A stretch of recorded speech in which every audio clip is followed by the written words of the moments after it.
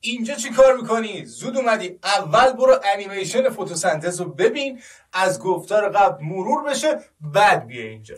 بریم بیاین فتوسنتز تو کلروپلاست گیاهان و جلبک ها اتفاق میفته این فرایند حتی تو تک سلولی هایی مثل سیانوباکتری ها که فاقد کلروپلاستند هم رخ میده.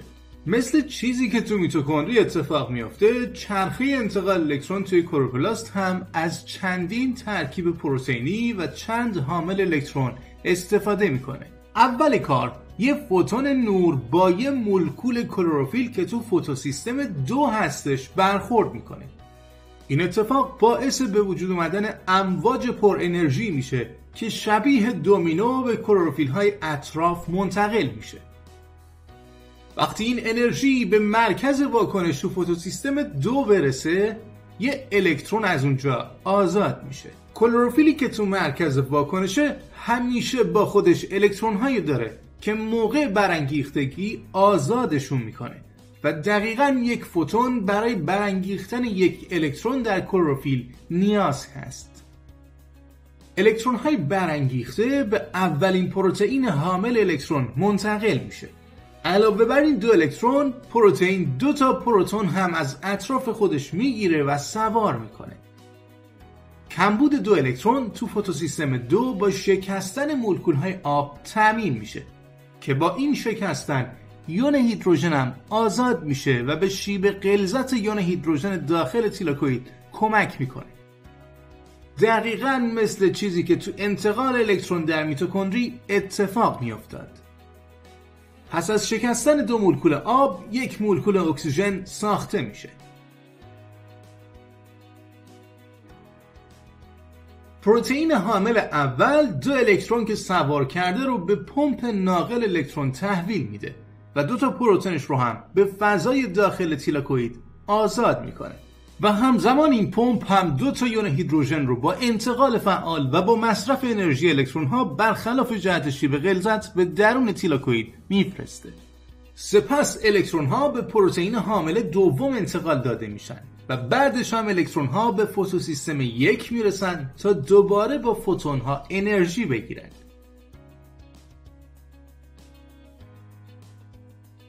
و انتقالشون به پروتئین حامل سوم راحت تر بشه. بعد از این اتفاقات پروتئین حامل سوم الکترون ها رو به پروتئین قشایی میده.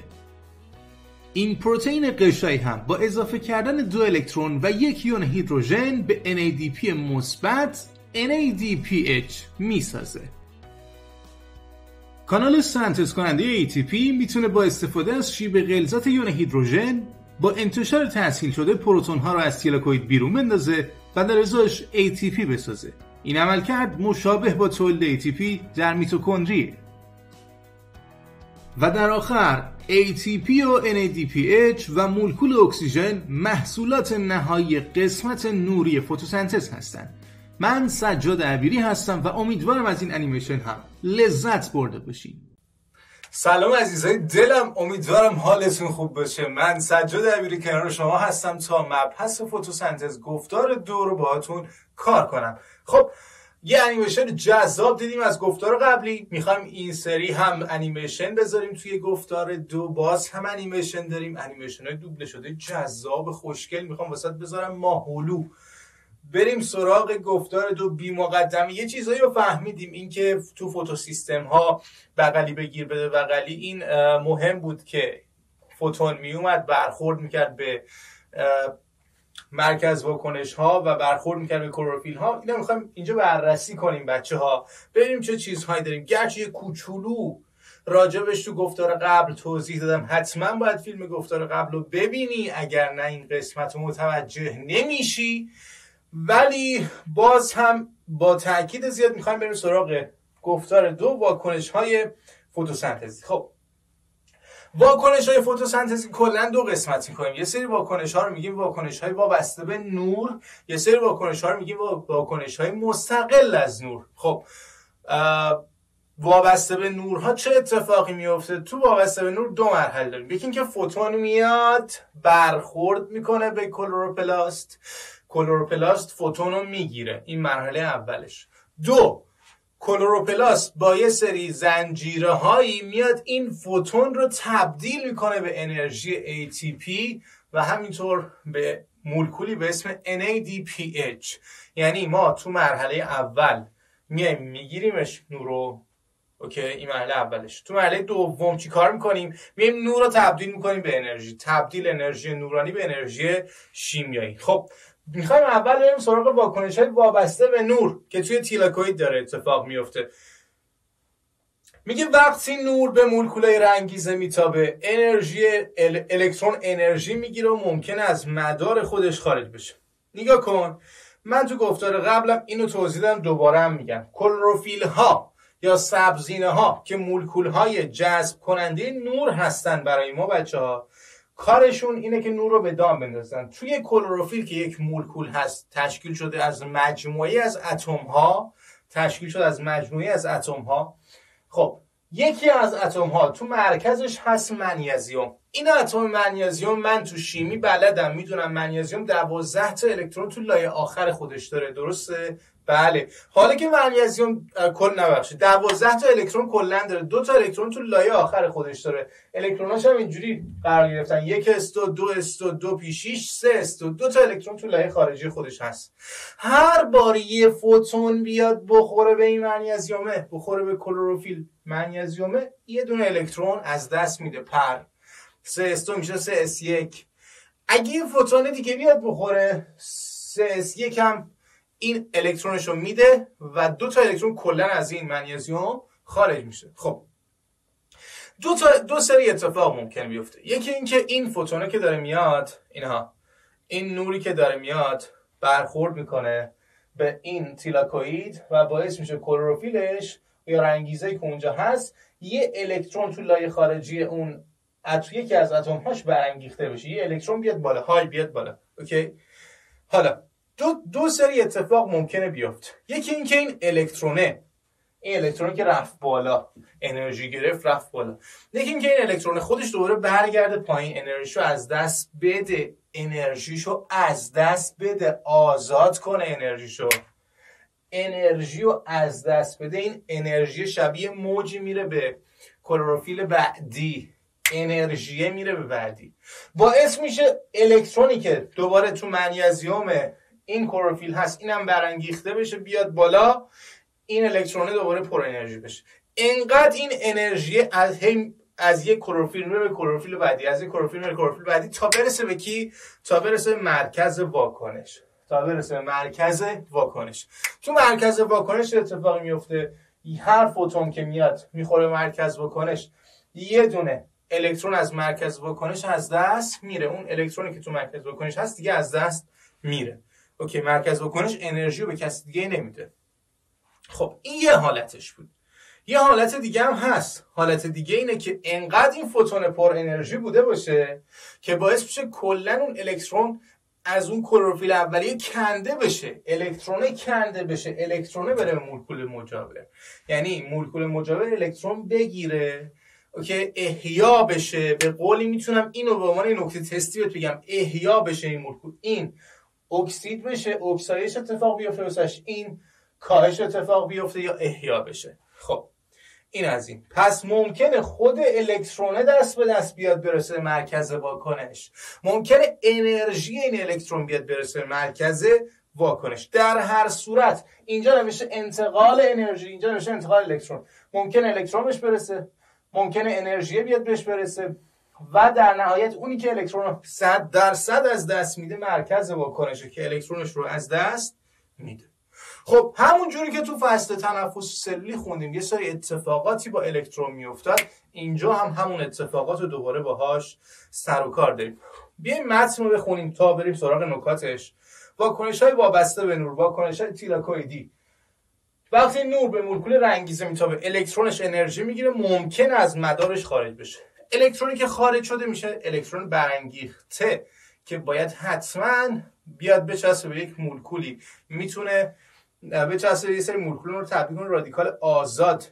یادتونه بچه ها توی تنفس سلولی این اتفاق میافتاد. ممکن بود منجر به سرطان ها بشه. بعد ما آنتی اکسیدان مصرف می‌کردیم تا رادیکال آزاد رو خونسا کنیم خب میگه زیرا پر انرژی و از مدار خودش خارج شده برانگیخته شده دیگه دست خودش نیست رفته بالا. الکترون برانگیخته ممکنه ممکنه. با انتقال انرژی به مولکول رنگیزه بعدی انرژیشو بده به بعدی. الکترون که رفت بالا بیاد پایین انرژی شده بغلی.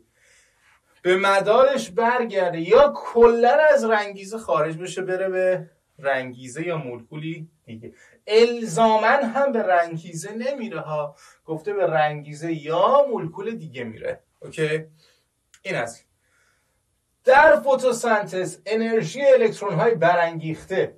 انرژی الکترون برانگیخته در رنگیزه های موجود در آنتن ها از رنگیزه به رنگیزه دیگه منتقل و در نهایت به مرکز واکنش میره و باعث ایجاد الکترون برانگیخته در کلروفیل آ و خروج الکترون از کلروفیل آ میشه ما یه لفظی یاد گرفتیم به عنوان مرکز واکنش و آنتن. اسم اینها رو گذاشته بودیم آنتن.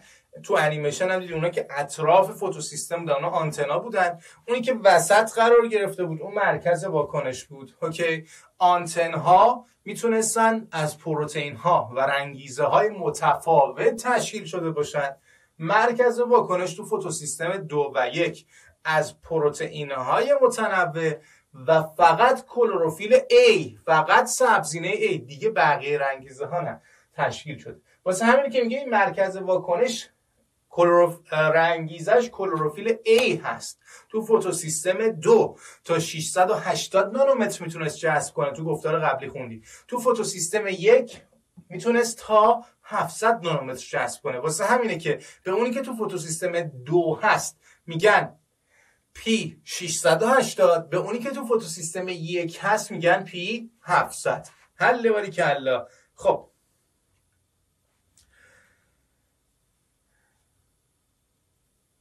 میگه الکترون برانگیخته از فوتو بیایم بالاتر.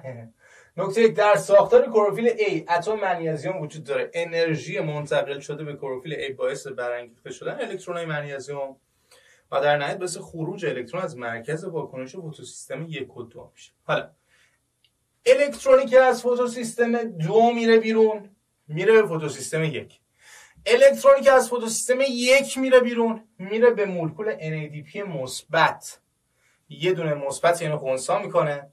یه دونهشون هم میچسبه به هاش مثبت. میشه هاش مثبت با NADP مثبت با دو تا الکترون میشه NADPH پس NADPH یک مولکولی هست که روی خودش دو تا الکترون سوار کرده. دو تا الکترون می‌خواد با خودش بچه چیکار کنه؟ جابجا جا کنه. خب اکنون هم کلروفیل A در مرکز واکنش فوتوسیستم یک و هم فوتوسیستم دو کمبود الکترون دارن. خب میگه دو نوع زنجیره انتقال الکترون در قشای تیلاکوید هست. دو نوع زنجیره انتقال الکترون داریم. یکی بین فوتوسیستم دو و یک یکی بین فوتوسیستم یک و NADP مثبت. اوکی؟ پس دو تا زنجیره داریم. مهمه خیلی مهمه خیلی خیلی مهمه. بیام رو شکل. میگه آقا دقت کن دقت کن عزیز دل من دقت کن اینجا. از اینجا تا اینجا. یک زنجیره است. از اینجا تا اینجا زن. فوتوسیستم دو و فوتوسیستم یک.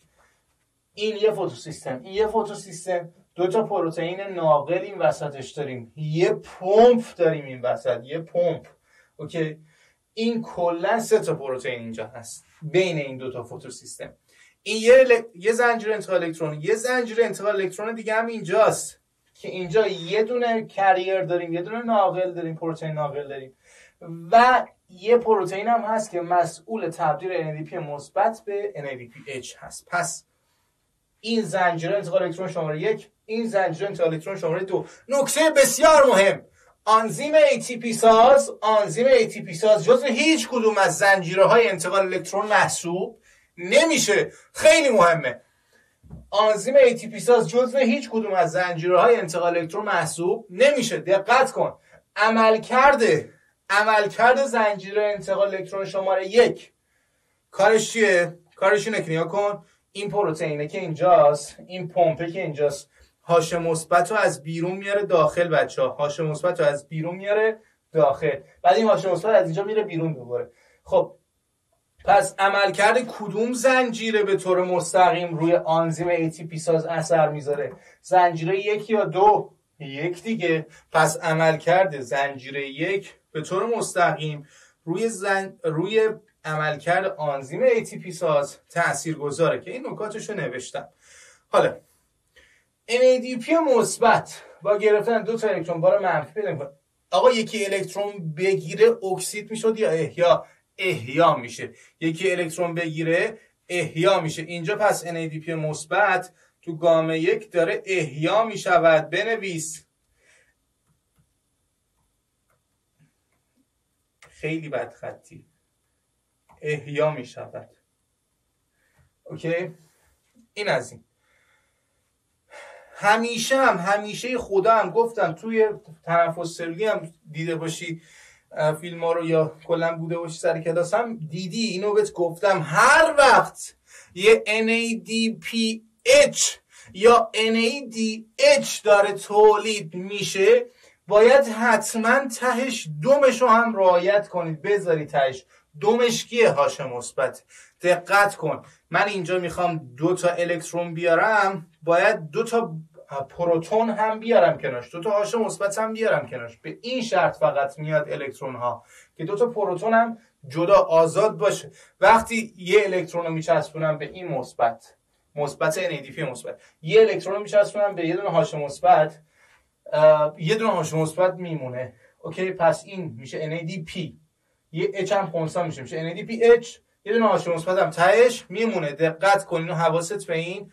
باشه. پس من در مرحله اول در مرحله اول فتوسنتز دارم NADP مثبت رو احیا می‌کنم. NADP مثبت با NAD مثبت یه تفاوتشون توی فسفات و NADPH رو در تنفس سلولی نداریم ما. اون NADH این NADPH فرق داره با هم دیگه. خب این از این. الکترونی که از سبزینه آ در مرکز واکنش فوتوسیستم دو میاد. این الکترون نگاه کن. میگه این الکترونی که این فوتوسیستم دو فوتوسیستم یک.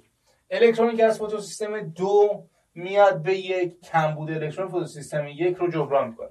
یعنی در واقع این فوتوسیستم یک الکترون میده. کی جبران می‌کنه؟ کی بهش الکترون رو میده؟ فوتوسیستم دو هست که بهش الکترون میده. اما فوتوسیستم دو خودش خود بیچارهش از کی می‌خواد الکترون بگیره؟ اینو دقت کن. فوتوسیستم دو خودش با تجزیه آب این کار انجام میده. آب و تجزیه می‌کنه هاش دو او رو میاره تجزیه می‌کنه به دو تا هاش مثبت. دو تا الکترون یه دوم او دو. اگه یه دونه آب دیگه هم بشکنه یه دوم او دو. با این یه دوم او دو با هم ترکیب میشه چی ساخته میشه؟ هاش. ترکیب ترکیب میشه چی ساخته؟ میشه او دو یه دوم او دو. با یه دوم او دو میشه او دو دیگه. اوکی حله. این از این. یه سری چیزا هست واسه طراح مهمه. خیلی مهمه. در اثر عمل کرده فوتوسیستم دو فوتوسیستم دو داره اثر می‌کنه. آب داره. چه اتفاقی واسش میفته؟ تجزیه میشه. آب داره تجزیه میشه. یه مورد. آب کجا داره تجزیه میشه؟ توی تیلاکویده یا بیرون تیلاکوید خیلی مهمه. آب توی تیلاکوید تجزیه میشه نه بیرون تیلاکوید آب تجزیه میشه اودو توی تیلاکوید تولید میشه یا بیرون تیلاکوید تولید میشه؟ توی تیلاکوید تولید میشه. اوکی؟ این یه مورد دیگه. آب تجزیه میشه هاش مثبت توی تیلاکوید اضافه میشه یا بیرون تیلاکوید توی تیلاکوید اضافه میشه. خب پس پس یه نکته مهم. فوتوسیستم دو داره کار می‌کنه. پیهاش درون تیلاکوید کمتر میشه یا بیشتر میشه؟ کمتر میشه دیگه. بله به خاطر اینکه اسیدی تر میشه. اگه فوتوسیستم دو کار کنه آب تجزیه میشه. هاش مثبت زیاد میشه. توی تیلاکوید چی میشه؟ اسیدی میشه. آ قربونت برم. یاد گرفتی؟ آفرین. خب. چیزی نداشت که. اینو کلا چند بار توضیح دادیم. این از این پس پس توی تیلاکوید داره اسیدی تر میشه هاش مثبت هی توی تیلاکوید داره بیشتر و بیشتر و بیشتر میشه. فوتوسیستم ها رو هم که تعریفش اینو از گفتار قبل نوشته بودن. فوتوسیستم دو از آنتنا و مرکز واکنش تشکیل شده. آنتنا خودشون از رنگیزه ها و پروتئین تشکیل شده. مرکز واکنش اونی که اون وسط بود از کلروفیل A پی 680 و پروتئین ها تشکیل شده. فوتوسیستم یک هم دقیقا همین از آنتن ها و مرکز واکنش. فقط فرقش اینه مرکز واکنشش کلروفیل H تا پی 700 نانومتر می‌تونه جذب کنه. این تا 700 نانومتر می‌تونه جذب کنه این تا 680 نانومتر می‌تونه جذب کنه. اینو اول کشف کردم. واسه همین گذاشتم فوتوسیستم یک. بعد ای قبلش یک دیگه است اسم اینو گذاشتم فوتوسیستم دو. دیگه اسمش هم عوض نکردم. اوکی. یه چیز دیگه واسه من خیلی مهمه اینجا بچه تو این شکل خیلی مهمه. نگاه کن اینجا این کریرها این ناقل پروتئین های ناقل. واسه من کلا مهمه که با چند لایه از غشا در ارتباطند. با کدوم قسمت غشا در ارتباطند؟ واسه من ترا مهمه این قسمت. این ناقل شماره یک ناقل شماره یک بین دو لایه غشاست. بین دو لایه غشاست. با قسمت های آبگریز در ارتباطه یا آب دوست با آبگریز های دولایه در ارتباطه. این شماره یک با آبگریز های دولایه در ارتباطه. این شماره دو ناقل شماره دو ناقل الکترون شماره دو. این درون تیلاکویده یا بیرون تیلاکویده درون تیلاکویده آیا درون قشاست نه. درون تیلاکوید در سطح داخلی قشاست با بخش آبدوست در ارتباطه یا آبگریز فقط با بخش آبدوست یک لایه از قشا در ارتباطه. آبدوست یک لایه از قشا در ارتباطه.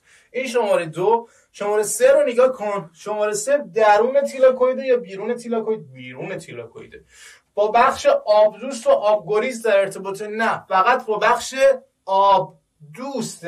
بیرون تیلاکوید در ارتباطه. اوکی؟ نه درون تیلاکوید این پروتئین این پروتئین با بخش آبدوست در ارتباطه یا آبگریز؟ فقط با بخش آبدوست در ارتباطه. بعد بیرون تیلاکوید درون تیلاکوید بیرون تیلاکوید پس تولید NADPH درون تیلاکوید یا بیرون تیلاکوید بیرون تیلاکوید ولی که الله. این یکی هم بگیم آنزیم ATP ساز که خودش دو قسم دو نوع کار انجام میده. یکی نقش کانال رو بر عهده داره که هاش مثبت رو در جهت شیوه غلظتش بفرسته بیرون. یکی دیگه نقش آنزیمی رو هم داره که ADP رو تبدیل کنه به ATP نقش سنتزی داره. پس دو تا نقش داره. این ATP رو درون تیلاکوید می‌سازه یا بیرون تیلاکوید بیرون تیلاکوید می‌سازه. حل پس NADPH و ATP بیرون تیلاکوید ساخته میشن. این یه مورد این پروتئینه که اینجاست اسمشو می‌ذارم پمپ. این پمپه با یه بخش قشا در ارتباطه یا با دو بخشش با هر دو بخش هر دو لایه قشا هم آب دوست ها هم آب گریز ها در ارتباطه. پروتئین ارزی محسوب میشه بچه ها. اوکی؟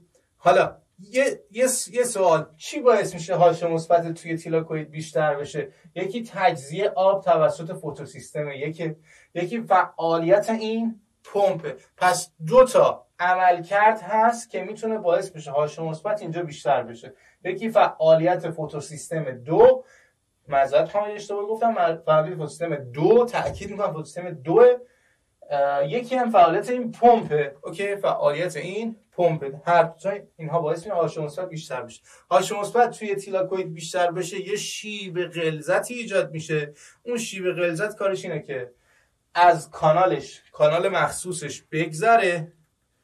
از کانال بگذره و ADP رو تبدیل کنه به ATP مثل آبی که پشت صد جمع میشه.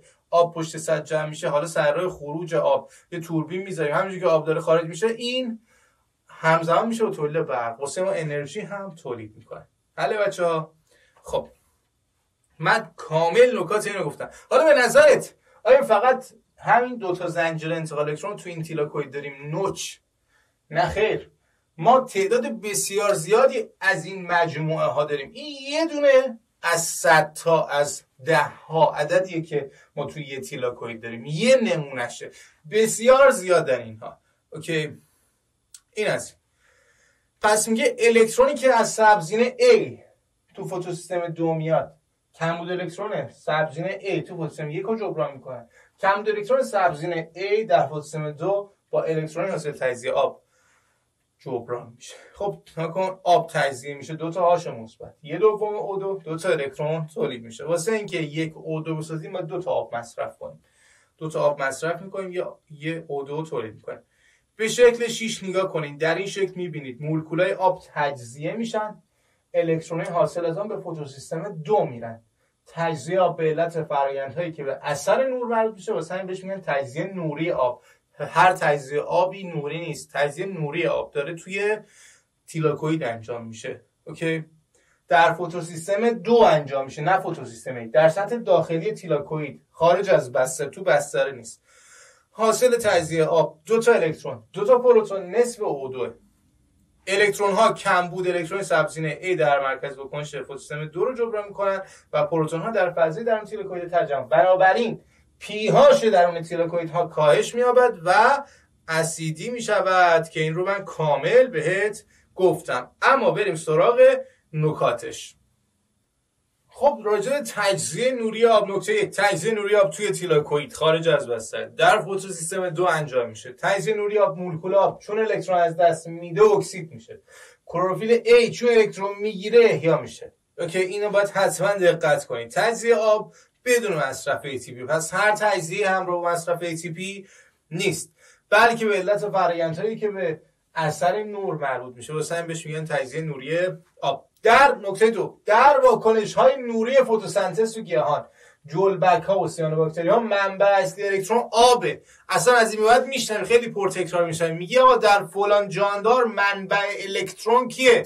همین الان بهت گفتم آب آب اینجا به من الکترون داد. okay همه فتوسنتز کننده این شکلی نیستن یه سریا هاش دو اوه مثل اینکه گفتم. یه سریا هاش دو اسه گوگردی ها باکتری های گوگردی هاش دو اس گوگرد استفاده می‌کنن به جای آب. پس نکته دو منبع الکترون تو این نوع فتوسنتز هاش دو او هست که در هر صورت ماده غیر یا ماده معدنی محسوب میشه. در واکنش های تیراکویدی پذیرنده نهایی الکترون NADP مثبت که نوعی ماده عالی دینوکلئوتیدی کی آخر رو الکترون می‌گیره؟ NADP مثبت که ماده عالی محسوب میشه. اوکی فسفات داره نیتروژن داره آدنین داره. حل این از نکته سه توی تیلاکوید هر چقدر تولد اکسیژن بیشتر باشه چون تولد هاش مثبتا بیشتره پس پی هاش درون تیلاکوید چی میشه؟ کمتر میشه و فعالیت آنزیم ATP ساز چی میشه؟ بیشتر میشه و تولد ATP و NADPH تو کلوروپلاست هم بیشتر میشه. این از نکته شماره سه و بریم سراغ نکته شماره چهار. برخی محصولات حاصل از تجزیه آب می‌تونن با فلان از تیلاکوید وارد بستره بشن. با چه فرایندی با انتشار تسهیل شده. و ولی دقت کنید که یونها الزامن الزامن از طریق کانال ATP ساز از یک تیلاکوید خارج نمیشن.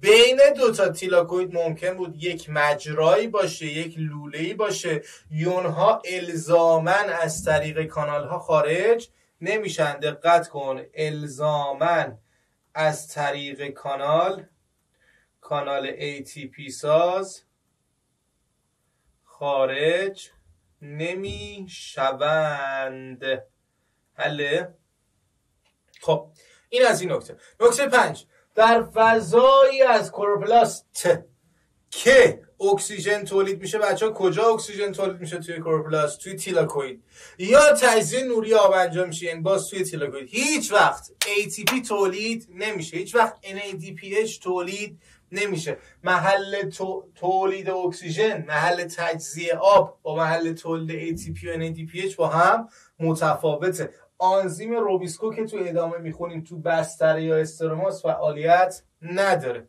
okay این از این.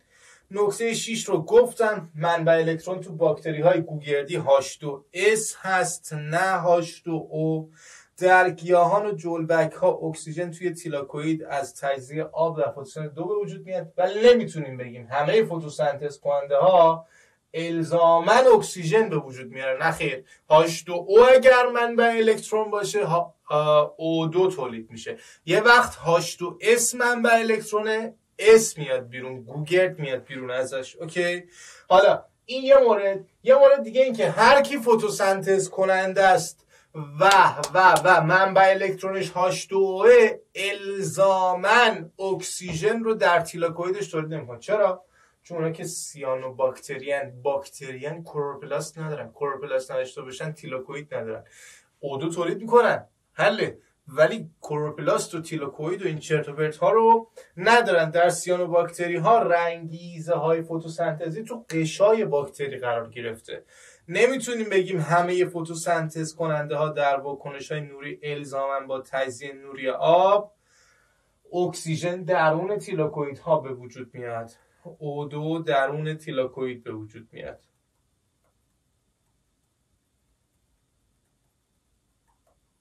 گفتم نمی‌تونیم بگیم. حله این از نکته آخر. خب بریم سراغ ساخته شدن ATP در فتوسنتز یکی از اجزای زنجیره انتا الکترون که بین فتوسیستم دو یک قرار داره پروتئینیه پمپ که یون هاش مثبت رو از بستره با انتقال فعال تو انیمیشن هم گفتم با انتقال فعال میاره داخل تیلاکوید پمپ می‌کنه میاره داخل دقت کن انتقال فعال با مصرف انرژی زیستی یا بدون مصرف انرژی.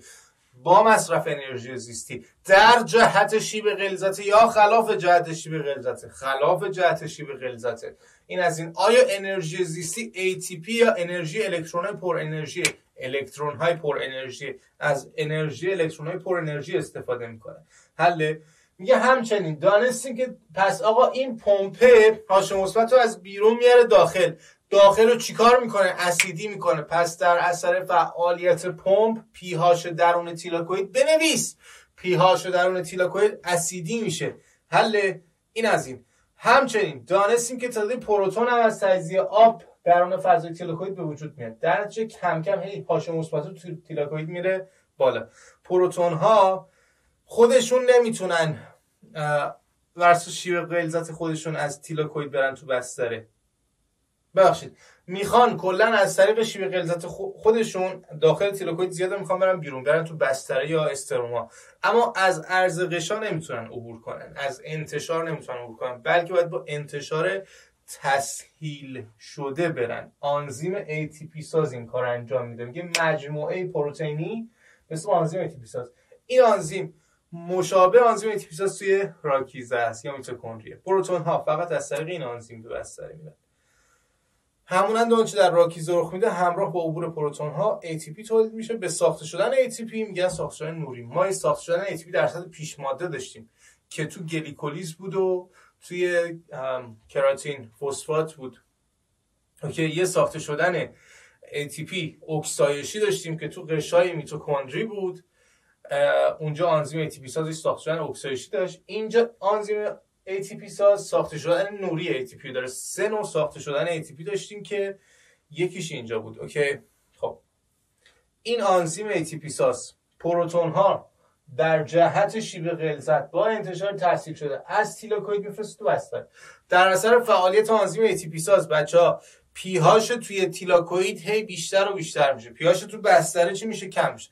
پس اگر کانال کار کنه اگر کانال کار کنه پیهاش تیلاکوید بذار این شکلی جدول بکشم. کانال پمپ.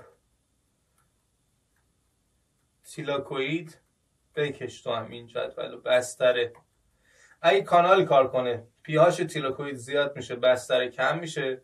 اگه پمپ کار کنه پیهاش تیلاکوید کم میشه بستره زیاد میشه. اوکی اینو حتما واسه خودت بچه ها باید بکشین عزیزان دلم.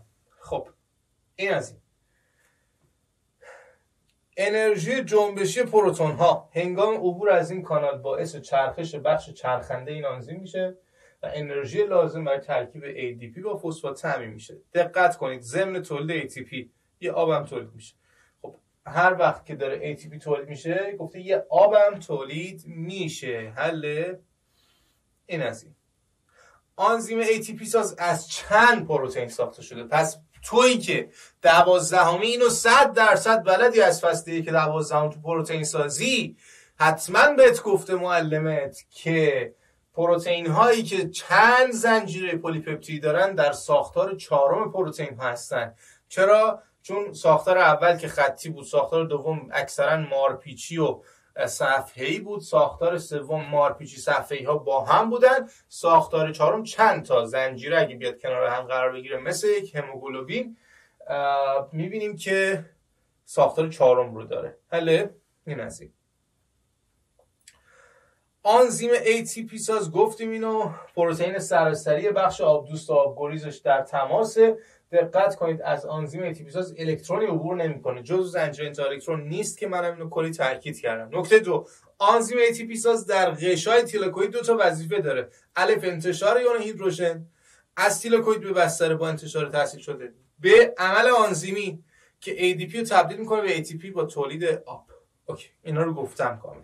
در واکنش های وابسته به نور یک آب مصرف میشه.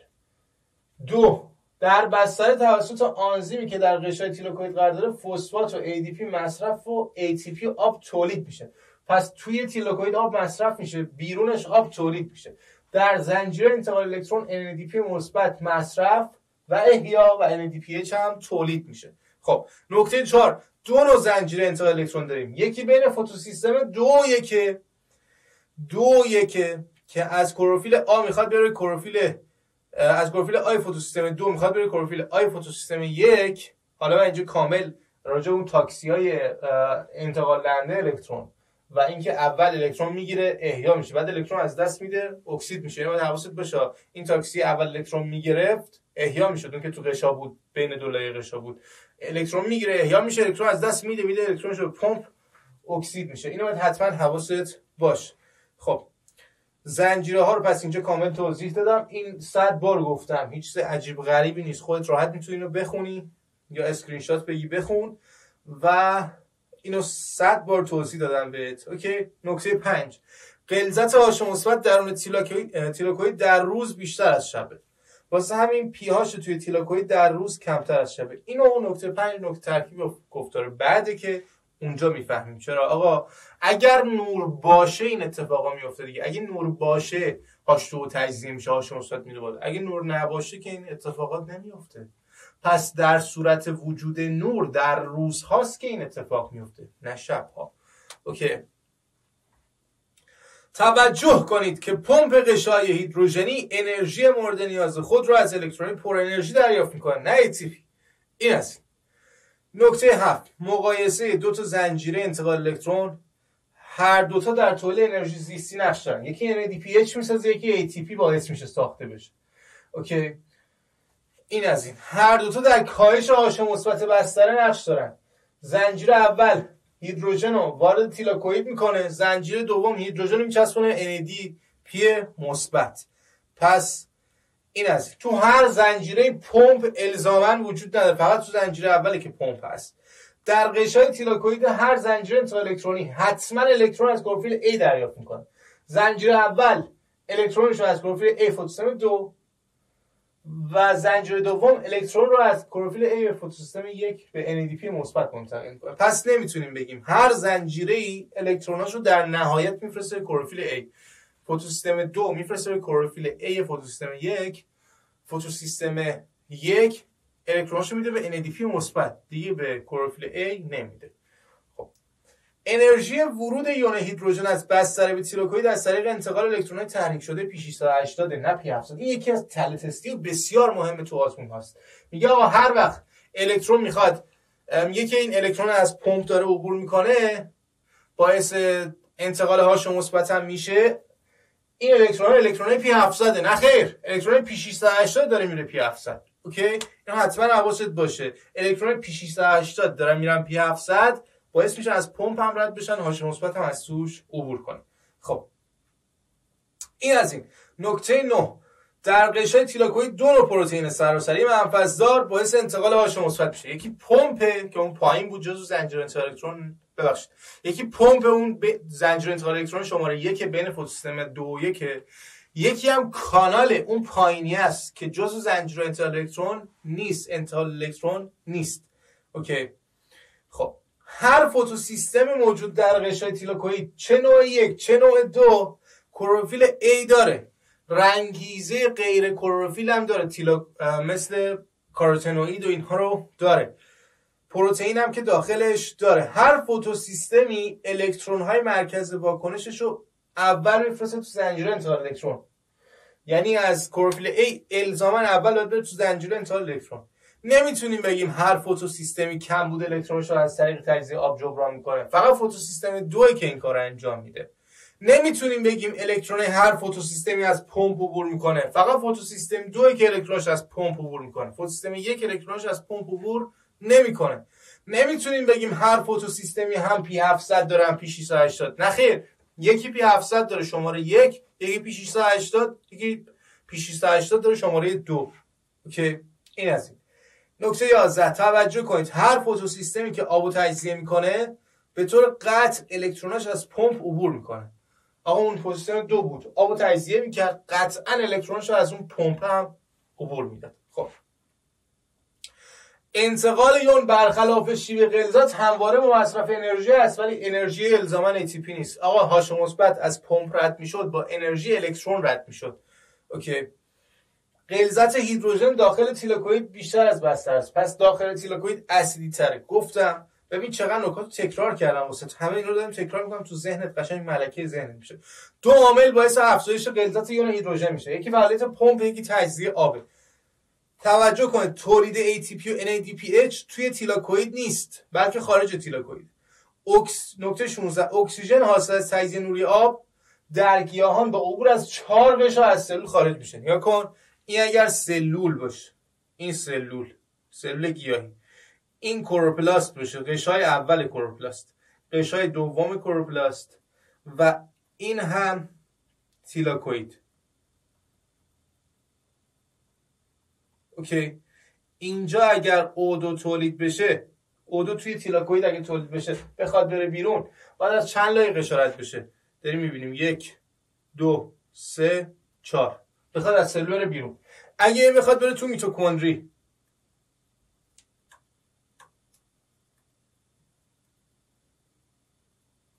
بعد از چند لایه قشارت بشه. یک دو سه چهار پنج.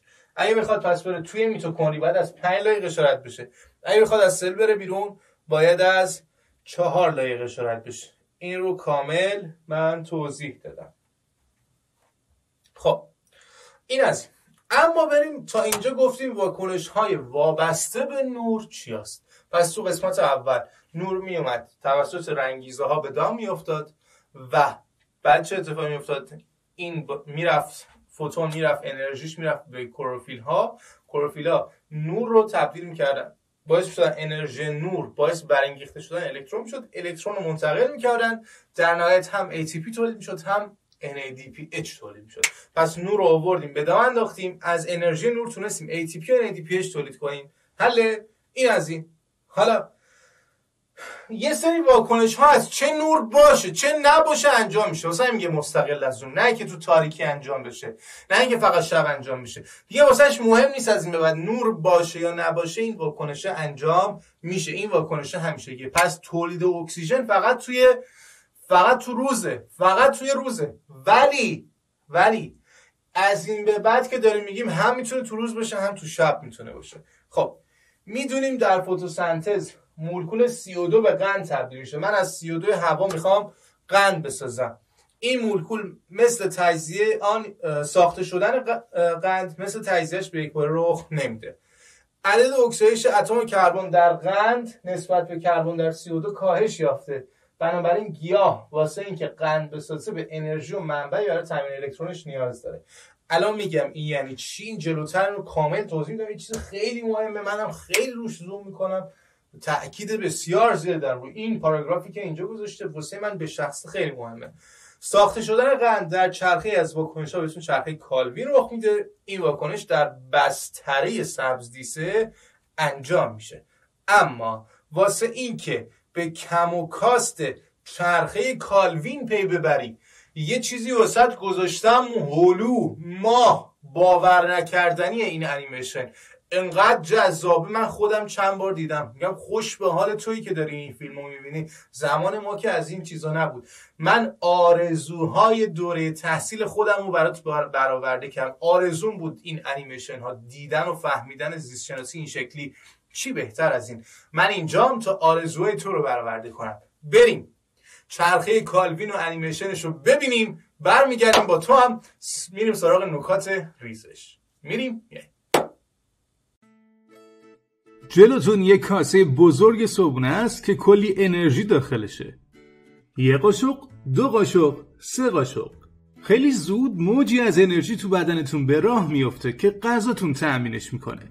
ولی چجوری این انرژی وارد کاسه شما شده؟ انرژی در فرم قند وجود داره که توسط گیاهان و غلاتی مثل گندم و ذرت تولید میشن. همینجوری که می‌بینید کربن ستون فقرات مواد شیمیاییه گیاهان این کربن رو از CO2 هوای تنفسی ما به دست میارن. ولی چجوری گیاه کارخونه انرژیه و چی تو بافت کلورپلاست اتفاق میفته که یک کربن گازی مثل کربن دی اکسید رو به شش کربن جامد مثل گلوکوز تبدیل می‌کنه؟ اگه به فتوسنتز فکر می‌کنید باید بگم که درست زدی تو خال. اما فتوسنتز به دو مرحله تقسیم میشه. اولین مرحله ذخیره کردن انرژی نور خورشید در قالب ATP و دومین مرحله چرخه کالوینه که کربن ها رو جمع و به قند تبدیل می‌کنه. مرحله دوم نماینده یکی از پربازده ترین خطوط تولید طبیعته و این شکلی می‌تونیم بگیم که به کارخونه سوداور ما خوش اومدیم. مواد اولیه چیان؟ ترکیبی از دیوکسید کربن هوا و مولکول از قبل آماده شده پنج کربنی به اسم ریبولوز 20 فسفات و کی این واکنش رو شروع می‌کنه؟ آنزیم سخت کوش روبیسکو که تک اتم کربن دی اکسید رو به ریبولوز 20 فسفات جوش میده تا اولین دنباله 6 کربنی چرخه رو بسازه. بعد این دنباله به سرعت به دو زنجیره سه کربن تقسیم میشه که به هر کدوم از اونها اسید سه کربنی میگن. بعد نوبت ATP و یک ماده شیمیایی دیگه به اسم نیکوتین آمید آدنین دینوکلئوتید فسفاته یا به اختصار NADPH ATP مثل یک ژل لوبریکنت عمل می‌کنه تا NADPH بتونه یک هیدروژنش رو به هر اسید سکربونی بچسبونه و اونها رو تبدیل به قند سکربونی کنه. گلوکوز به 6 کربن برای شکلگیری نیاز داره و این از دو مولکول قند سه کربنی تأمین میشه. پس حالا که شکر درست شد همه چی حل دیگه. نه هنوز. چرخه کالوین مثل یک خط تولد پایداره. و این به این معنیه که ریبولوز بیسفوسفات های اولیه‌مون که موقع شروع مصرف شدن باید با بازیافت مواد درون چرخه دوباره بازسازی بشن. ولی ریبولوز بیسفوسفات به 5 کربن نیاز داره و گلوکوز به 6 تا. یه چیزی جور در نمیاد. جواب توی پدیده ساده است. وقتی که ما فقط داشتیم به یک خط تولید دقت می‌کردیم پنج تای دیگه همراه و همزمان با این یکی در حال فعالیت بودن. پس با وجود 6 تا خط تولید این فقط یک کربن نیست که به یک ریبولوز بیسفوسفات جوش می‌خوره. بلکه این 6 تا کربونه که به 6 تا ریبولوز بیسفوسفات جوش می‌خوره. پس به جای دوتا دوازده تا قند سه کربنی به وجود میاد. و این به این معنیه که همگی با هم 36 تا اتم کربن دارن. که دقیقا برای ساختن یک گلوکوز 6 کربونه و 6 تا ریبولوز 20 فسفات 5 کربنمون کافیه. از دوازده تا قند سه کربنی که کنار هم جمع کردیم دو تاشو کنار می‌ذاریم تا انرژیمون یا همون گلوکوزی درست کنن که ما رو موقع صبونه را میندازه. ولی برگردیم به خط تولیدمون. محصولات جانبی که همراه گلوکوز تولید شدن رو باید سریع جمع کنیم تا اون 6 تا ریبولوز 20 فسفات های اولیه‌مون رو بسازیم که به 30 تا کربن نیاز داره. دقیقا اندازه 10 تا قند سه کربنه باقی مونده. حالا این مولکول ها باید با هم مخلوط بشن. دو تا از قندهای سه کربنه به هم پیوند می‌خورن و یک زنجیره 6 کربنی می‌سازن و با اضافه کردن قند سه کربنی سوم یک زنجیره 9 کربنی تشکیل میشه. اولین ریبولوز 20 فسفات از 5 کربن اول این زنجیره جدا میشه و 4 تا کربن باقی می‌ذاره. ولی اینجا نباید هیچی باقی بمونه. به این زنجیره چهارتایی قند سه کربنی چهارم وصل میشه تا یه زنجیره هفت کربن به وجود بیاد. بعد با اضافه شدن قند سه کربونه پنجم یه زنجیره ده تایی خواهیم داشت که برای ساختن دو تا ریبولوز 20 فسفات دیگه کافیه. تا اینجا سه تا ریبولوز 20 فسفات از نصف قندهای سه کربونی ساخته شده. با تکرار این موضوع سه ریبولوز 20 فسفات دیگه مورد نیاز چرخه رو هم از قندهای سه کربونی بازسازی می‌کنیم همونطوری که دیدید چرخه کالوین از تعداد دقیقی از فرایندها و تعداد مشخصی از عناصر استفاده می‌کنه تا به صورت بی پایان تکرار بشه و این فقط یکی از صدها چرخه ایه که در طبیعت وجود داره حالا چرا اینقدر زیاد؟ چون اگه تولیدات بیولوژیکی به صورت خطی بودن و چرخه‌ای در کار نبود اصلا نمی‌تونستن تو استفاده از انرژی برای ساخت موادی که طبیعت بهشون وابسته است مثل قند موفق باشن. به قول معروف دخل و خرجشون با هم نمی‌خوند. چرخه ها گردش های بازخوردی و حیاتی رو تأمین می‌کنن که پشت سر هم اجرا میشن و موادش دوباره ساخته و استفاده میشن. مثلا همون قند از نور خورشید و کربن و در کارخانه گیاهی ساخته میشه. تا تبدیل به انرژی بشه که به شما قدرت میده تا زندگیتون باهاش بچرخه. من سجاد عبیری هستم و امیدوارم از این انیمیشن لذت برده باشین. چطور بود عزیزای دلم؟ خوب بود؟ راضی بودی؟ خوشت اومد؟ گفتم که بی نظیر این انیمیشن ها حتما حتما واسم بفرست. می‌خوام ببینم که لذت بردی از این انیمیشن. چه توی تلگرام چه توی اینستاگرام. برای من بفرست. من ببینم که چی کار کردی و اینکه چقدر راضی کننده بوده واسه چه شکلی باشه انیمیشن ها آیا کافی بود؟ نبود. خب همه اینایی که داری می‌بینی رو می‌بینی رو یه نفری خودم دارم انجام میدم. هم دوبله همین تدوین همین فیلم و همه اینها با یک نفره. امیدوارم قدر بدونی. خب بریم سراغ چرخه کالوین. یه در چرخه کالوین شماره یک. من پنج مرحله اومدم اینجا نوشتم. CO2 با قندی پنج کربنی به اسم ریبولوز 20 فسفات. 20 از دو اومده. ریبولوزی که دو فسفات داره. 20 یعنی دو. ریبولوز دو فسفاته. okay ترکیب و مولکول شش کربنی ناپایداری تشکیل میشه. پس این اولین ماده آلی که داره تشکیل میشه آیا پایدار یا ناپایدار؟ ناپایداره. okay. بعد چی میشه؟ این CO2 این ناپایدار بود پس. حالا کی این کار رو انجام میده؟ کی CO2 رو وصل می‌کنه به ریبولوز 20 فسفات؟ یه آنزیم این کار رو انجام میده به اسم روبیسکو مخفف چیه؟ مخفف ریبولوز 20 فسفات. روبیس. که مخفف کربوکسیلاز او مخفف اکسیژنازه روبیسکو ریبولوز 20 فسفات کربوکسیلاز اکسیژناز. دو تا کار می‌تونه انجام بده این آنزیمه. یه عمل عمل کربوکسیلازی ریبولوز 20 فسفات یعنی چی؟ یعنی اینکه ریبولوز 20 فسفات رو بیاد به اضافه کربن جمعش کنین دو تا رو با هم. کربوکسیلازی بهش میگن. اگه ماده ای رو اگه یک ماده رو بهش کربن اضافه کنیم بهش میگن کربوکسیلازی. پس اینجا ریبولوز 20 فسفات داره کربوکسیلازی عمل کربوکسیلازی روش انجام میده. اگه بیاد این C5 رو ریبولوز 20 فسفات رو به اضافه O2 کنه میشه اکسیژنازی که تو گفتار بعد میگم راجبش. خب و فعالیت کربوکسیلازی آن گروه کربوکسیل انجام میشه. این از این. پس آقا اینجا کن. اینجا که من بیام 6 تا ریبولوز 20 فسفات رو با 6 تا 32 تو 6 تا چرخه همزمان دیدی تو انیمیشن. با هم ترکیب کنم 6 تا 36 به وجود میاد 6 تا 36 به وجود میاد بچه خب که اینا چی هن؟ ناپایدارن. خیلی مهمه. اولین ماده که تولید شد ناپایدار. بعد هر مولکول 6 کربن دو فسفاته که ناپایداره. بلا فاصله تجزیه و دو مولکول اسید سه کربنی تک فسفاته ایجاد می‌کنن این مولکول ها در نهایت به قندهای سه کربونه تبدیل میشن. پس آقا بلا فاصله تجزیه میشه. میشه اسید سه کربن پس تو گام دو شد اسید. این شد گام یکش. از اینجا تا اینجا گام یک. این 6 تا 36 میاد میشکنه. به 12 تا 33 12 تا 33 این شد گام دو. اولین ماده عالی پایداری که تولید شد اینه. سی سه. اولین ماده عالی که تولید شد و پایداره سیسه هست.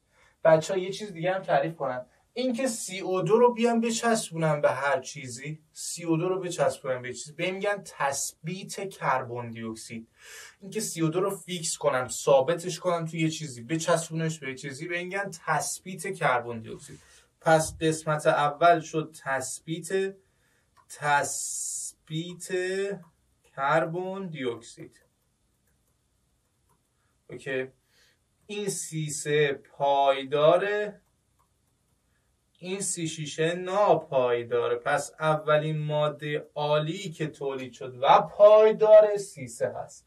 واسه همینه که اصلا به این گیاهانی که فقط کالوین دارن هیچ چیز دیگه قبل کالوین اینا به جز اون واکنش های نوری ندارن به اینا میگن گیاهان سیسه. گیاهانی که اولین ماده عالی که در فتوسنتز تولید می‌کنن و پایداره سی سه هست. سه کربونی بهش میگن گیاهان سی سه خب. حالا ببین چه اتفاقی میفته هر اسید سه کربونه یک فسفاته اول یه فسفات از ATP می‌گیره. نیا کن اینجا یه فسفات از ATP می‌گیره. میشه ADP 12 تا سیسه بود. هر کدومش هر کدوم از سیسه ها یه دونه فسفات می‌خواد. میشه 12 تا سیسه دو فسفات. این شکلی میشه پس اول.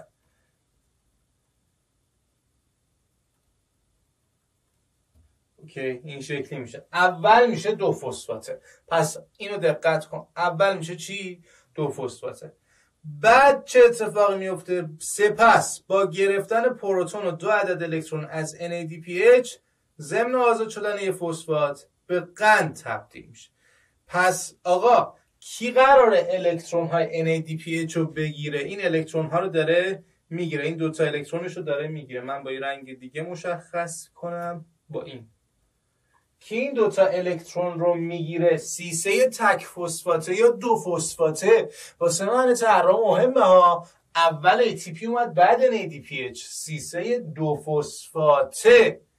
دو تا الکترون رو می‌گیره. الکترون بگیره اکسید میشه یا احیا میشه؟ احیا میشه. سیسه دو فسفاته احیا میشه یا سیسه تک فسفاته؟ سیسه دو فسفاته احیا می‌شود. اوکی کی اکسید میشه؟ NADPH اکسید میشه سیسه دو فسفاته احیا میشه. اینو حتما حواست باشه. حتما حتما حواست باشه بین در این مرحله به ازای تبدیل هر اسید به قند یک ATP مصرف میشه. یه NADPH هم مصرف میشه. یه اسید سه کربونی احیا میشه خب یه چیزی رو همینجا می‌خوام وایسم. اول وایسم اینجا. آقا این بالایی اسید این بالایی این سیسه اسید اینی که این پایین قنده. اسید قند. اسید قند اینو تو فصل پنج دوازدهم هم بهت گفتم. اسید می‌خواد بشه قند. چه اتفاقی میافتاد؟ یادت از فصل پنج؟ اسید می‌خواد بشه قند. این چیزی بود که تو اون پاراگراف هم بود گفتم خیلی مهمه رو این دست می‌ذارن طراح. مطمئنم دست می‌ذاره. یا کن این اسید گروه حاملیش چیه؟ C O OH این طرفش هم که کربونه هیچ. قند گروه حاملیش چیه بچه ها C O H. این گروه حاملی قنده. C O H می‌خواد بشه C O H. این کربن می‌خواد تبدیل بشه به این کربن. عدد اکسایش این کربن چنده؟ عدد اکسایش این کربن حساب کن. بلدی حساب کنی؟ من که حساب کردم شد مثبت سه. دو تا میده به این. یه دونه میده به این شد مثبت سه. عدد اکسایش این کربن چنده؟ دو تا میده به اکسیژن. یه دونه هیدروژن رو می‌گیره. دو تا میده. یه دونه می‌گیره. مثبت یک. مثبت سه داره میشه مثبت یک. داره مثبت سه میشه مثبت یعنی دو تا الکترون داره می‌گیره از دست میده می‌گیره. کی بهش دو تا الکترون میده؟ کی بهش دو تا الکترون میده؟ NADPH NADPH میاد. دو تا الکترون میده میشه NADP مثبت. حله. پس اینجا پس اینجا فهمیدیم. که چطور اسید تبدیل شد به قند. دو تا الکترون گرفت. واسه همینه که اصلا ما میایم تو زنجیره انتقال الکترون شماره دو. بعد از فوتوسیستم یک NADPH می‌سازیم به این دردمون می‌خوره.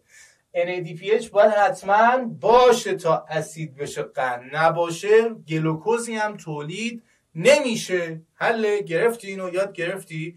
خب یکم بیوشیمی گفتم. ولی مفهومش رو وسط جا انداختم بجاش به جای اینکه بخوای نکته حفظ کنی مفهوم یه چیزی رو بیوشیمیایی قشنگ وسط گفتم و تعجب کنی که من معلم زیست اینجوری بیوشیمی به درس دادم گرچه تو دانشگاه بیوشیمی می‌خونیم دیگه. ما هم که تهران خوندیم بیوشیمی خیلی درس کاربردی توی زیست شناسی قشنگ جا انداختم واسم خب. پس اسید می‌خواد بشه دو تا الکترون می‌خواد بگیره. کی می‌خواد الکترون رو بهش بده؟ الکترون ها رو از NADPH می‌گیره. حل این است. خب شما سه. برخی قندهای سه کربنی یک فسفاته یک ششم قندهای سه کربونه از چرخه خارج میشن و از این قندها برای ساخته شدن گلوکوز ترکیبات عالی دیگه استفاده میشه. اکن این. این قندهای سه کربن تک فسفاته آزاد میشن برقشون از اون 6 تا که داشت همزمان میچرخید.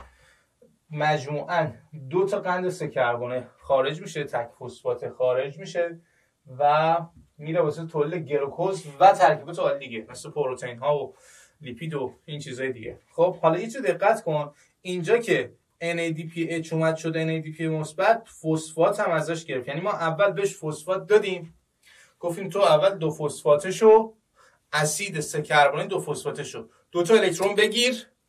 حالا تو الکترون گرفتی یه, دو... یه فسفاتی که بهت دادم برگردون. اوکی؟ می‌خواستیم خرش کنیم. یه پی پول. پی پول. گذاشتیم تو جیبش دو فسفاتش کردیم و گفتیم خب حالا خاک تو سایدین دو تا الکترون هم بگیم دو تا الکترون هم بهش دادیم دادیم تو کلش. اون پول هم ازش گرفتیم. اون پی رو هم ازش گرفتیم. حله این از این اتفاق. خب بیشتر قندهای سه کربن یک فسفاته 5 شیشم. به مولکولای 5 کربن یک فسفاته تبدیل میشن. اول میشن 5 کربن یک فسفاته این سه کربن تک فسفاته. میشه 5 کربن یک فسفاته. در این مرحله 5 قند سه کربن یک فسفاته. به سه قند 5 کربن یک فسفاته.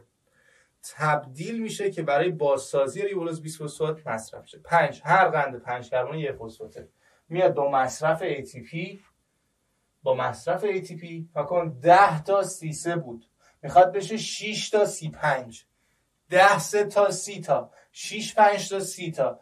این قرار تبدیل بشه این. 12 سه تا. می‌شد 36 تا. یه 6 تا ازش گرفتیم. یه 36 8 12 و 6 ازش گرفتیم. 36 تا یه 6 تا ازش گرفتیم. تو انیمیشن دیدیم. یه 6 تا ازش گرفتیم. 30 تا مون اون 30 تا. 30 تا رو دو حالت می‌تونیم بنویسیم. 10 سه تا میشه 30 تا. 6 5 تا هم میشه 30 تا. این 10 سه تا رو تبدیل کنیم به 6 5 تا. هیچی هم اینجا مصرف نمیشه. بعد چه اتفاقی میافته تو قسمت آخر؟ این 6 6 5 تایی که تک فسفات بود ریبولوز فسفات بود 20 فسفات نبود. ریبولوز فسفاته نه ریبولوز 20 فسفات. 20 یعنی دو. اینا هر کدوم 6 تا هر کدوم با گرفتن یه ATP با گرفتن یه ATP تبدیل میشن به یک ریبولوز 20 فسفات. حل اینو حواست باشه. اول پس میشه تک فسفاته بعد میشه دو فسفاته. okay این هست خب میگه گرچه واکنش های کالوین مستقل از نور انجام میشن اما انجام این واکنش ها وابسته به ATP و NADPH در کالوین دیدیم که بر CO2 برای ساخته شدن ترکیب آلی به کار به فرآیند استفاده از CO2 برای ترکیب آلی میگن تثبیت کربن. خب نکته یک تثبیت دیوکسید کربن در چرخه کالوین در یوکاریوت فتوسنتز کننده مثل گیاهان. و آغازیان واکنش های تثبیت کربن در بستره سبزیسه انجام میشه. ولی در باکتری ها تو سیتوپلاست انجام میشه. حالا سب کن آیا همه گیاهان تثبیت دیوکسید کربن دارن؟ نه خیر یه سری گیاهان اصلا انگلن. مثلا مثل گل مثل گل جالیز مثل گیاه سس. okay؟ اینها چرخه کالوین و این چیزا واسهشون تعریف نمیشه چون انگلن از بقیه می‌گیرن. حل پس تثبیت دیوکسید کربن تو بستره یا استروماست در اونهایی که یوکاریوتن. ولی اونهایی که پروکاریوت باکتری می‌خواد فتوسنتز کنه دیگه کلوروپلاست نداره. تثبیت کربن درون کلوروپلاست نیست. خب. اولین ماده عالی پایداری که ساخته شد سه کربنی بود. واسه همین به این گیاهان میگن سی سه. فقط با چرخ کالوین تثبیت دیوکسید کربن انجام میدن. اکثر گیاهان هم سیسه هستن. این قید بسیار مهمه. اکثر گیاهان سیسه هستن. خب گرچه انواع دیگری از تثبیت کربن در طول حیات گیاهان روی زمین شکل گرفته که در گفتار بعد بهش می‌پردازیم. خب بریم نکته دو. در چرخه کالوین ریبولوز 20 فسفات ترکیب 5 کربنی دو فسفاته و قندهای سه کربنی تک فسفاته و ریبولوز فسفات هم تولید میشه هم مصرف میشه. ولی CO2 ATP NADPH فقط مصرف میشه. دقت کن. می‌تونیم اینو به عنوان یک سری از تست های ترکیبی خواهید دید. چه چیزهایی در کالوین فقط مصرف میشه ATP و NADPH و CO2 و اینو گوش کن. ببین چقدر قشنگ میبرمت با فصل 5 ترکیب می‌کنم. توی توی میتوکندری تو میتوکندری ATP و CO2 هم تولید می‌شد. پس من طراح می‌تونم اینجوری سوال بدم و سوال میدم اینو. که موادی که درون میتوکندری تو به عنوان فراورده تولید میشن می‌تونن به عنوان واکنش دهنده در کلوروپلاست مصرف بشن. دیدی؟ حال کردی. این شکلی سوال میاد. NADPH نه NADPH نه. اونور NADH داشتیم. این NADPH CO2 و ATP توی میتوکندری تولید میشن. تو کلوروپلاست مصرف میشن. خب این هست گرچه واکنش های کالوی مستقل از نوره اما انجام واکنش ها با واسطه ATP و NADPH چرخه نوریه.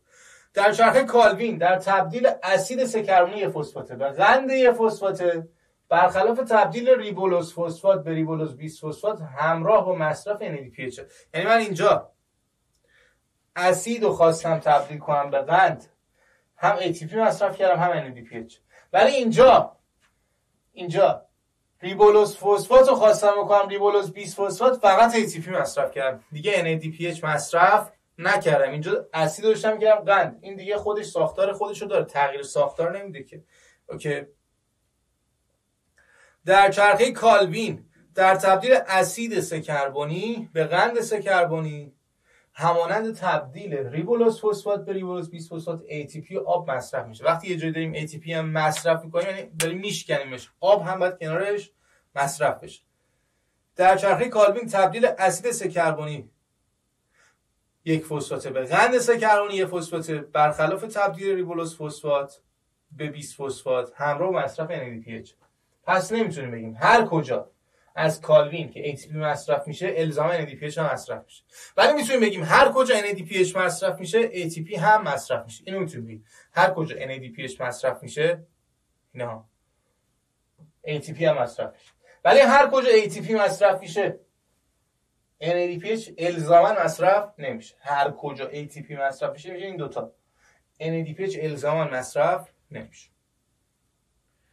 در چرخه کالبین فقط از یک نوع دهنده الکترون استفاده میشه. و گیرنده نهایی کی بود بچه ها؟ سیسه دو فسفاته بود. محصول چرخه کالبین قند سکربونی فسفات در تمام چرخه کالبین در تمام مراحل چرخه کالبین مواد عالی در حال تبدیل تبدیل شدن به یکدیگر که حالا نمی‌خواد نمی‌نویسیم نکته هفت.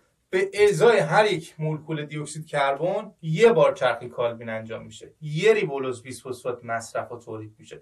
دو تا سه کربن تولید میشه. دو تا سه کربن قند تولید میشه. سه تا ATP مصرف میشه دو تا NADPH پس هر یه CO2 سه تا ATP دو تا NADPH کن حالا C6 که می‌خواد تولید بشه چی؟ 6 تا CO2 مصرف میشه.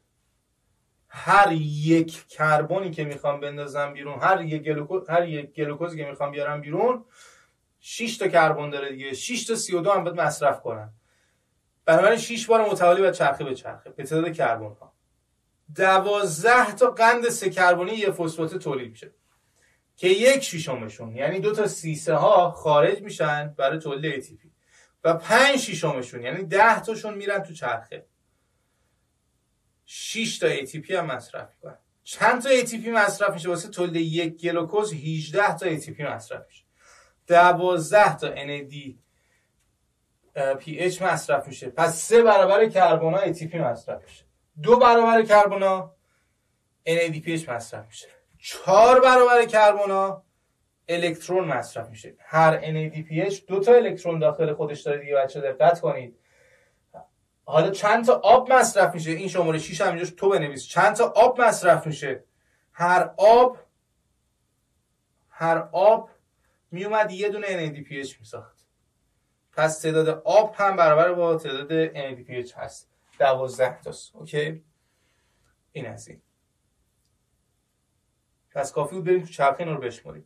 برای آزاد شدن یک مولکول قند سه کربونه از چرخه کالوین اگه سه کربونه باشه چی؟ به ازای هر کدوم از اینا رو دیگه باید حساب کنیم بچه ها. سه تا CO2 می‌خوایم. سه بار چرخه کالوینه سه برابرش باید ATP باشه. سه تا سه تا میشه نه تا.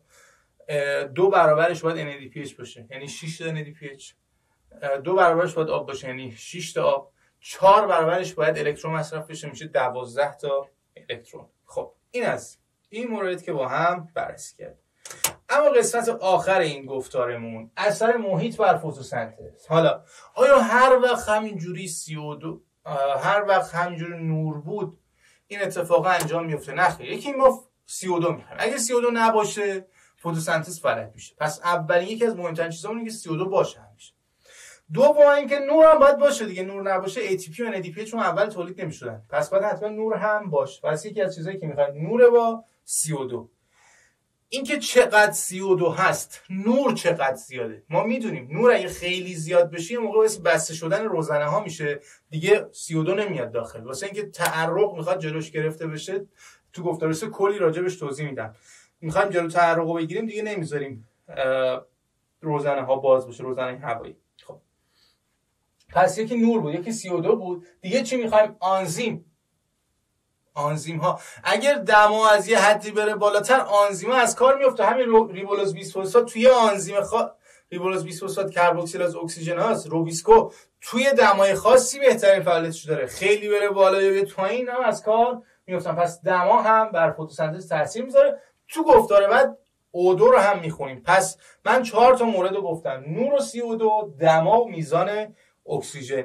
دقت کن هر چقدر اکسیژن بیشتر بشه سرعت فتوسنتز کمتر میشه تا به یک شیوه ثابت برسه. اکسیژن کم سرعت فتوسنتز زیاد. اکسیژن کم سرعت فتوسنتز زیاد. اکسیژن زیاد فتوسنتز کم. یا می‌خوایم اودو تولید کنیم دیگه. حالا تولید شد. واسه چی اصلا من خیلی فتوسنتز رو زیاد کنم؟ پس رابطه عکس داشتین دوتا میزان اودو و فتوسنتز رابطه عکس داره.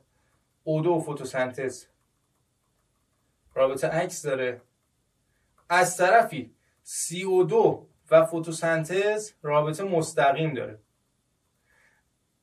البته نگاه کن من اگه بخوام CO2 را نمودارش رو بکشم این شکلی می‌کشم از یه جایی به بعد دیگه اینو ثابت می‌ذارم چرا؟ چرا اینو ثابت می‌ذارم؟ این CO2 سرعت فتوسنتز تراکم CO2 و نور حتی. از یه جایی بعد ثابت کنم چرا؟ چون ما فرض می‌کنیم مثال تو هر کلوروپلاست تو هر کلوروپلاست 100 تا ریبولوز بیسفوسفات هست که می‌تونه با 100 تا کربن دی اکسید ترکیب بشه همزمان. یک دو سه چهار پنج ده صد. رسیدیم به 100 به 100 که برسیم تو حالا دی اکسید کربن کن 300 تا. بکن هزار تا. کربن بیشتر کن. آیا ریبولوز بیسفوسفات داریم که این با اینا ترکیب بشه؟ نه. پس باید تو صف بمونه و از یه جای بعد دیگه سرعت ثابته. پس از یه جایی به بعد دیگه سرعت ثابت میشه. این رو هم حتما باید وارد کنی. عزیز دلم این گفتار رو هم کامل واضح همه چیشو واسط گفتم.